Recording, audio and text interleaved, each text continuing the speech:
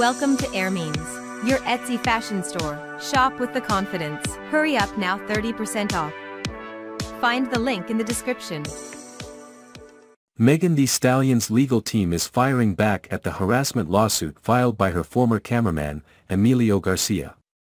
In a recent court filing as reported by People, her lawyers, Mari Henderson and Alex Spiro, dismissed Garcia's claims as fabricated and outlandish, accusing him of seeking to exploit the legal system for publicity to boost his singing career. Garcia's lawsuit, filed in April, alleged that Megan created a hostile work environment, subjected him to sexual harassment, and failed to pay him properly.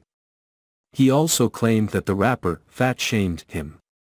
However, Megan's lawyers deny these accusations, stating that Garcia repeatedly falsified invoices, overcharged for services, and was ultimately terminated for his misconduct. The filing further claims that Garcia's lawsuit is a factually and legally frivolous complaint, fueled by anger over losing his job.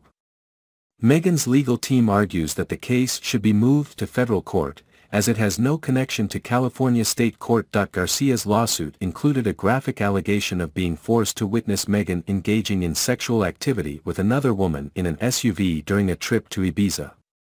However, Megan's lawyer, Alex Spiro, previously dismissed this as a salacious attempt to embarrass the rapper. Garcia's attorney, Ron Zambrano, responded to Megan's latest filing, accusing her of attempting to shame the victim and shift blame from their own abhorrent behavior. He maintains that Garcia's claims are valid and that Megan broke the law. Meanwhile, Megan is currently on her first ever headlining Hot Girl Summer Tour, which has seen her release a new remix of her song, Wannabe, featuring Cardi B.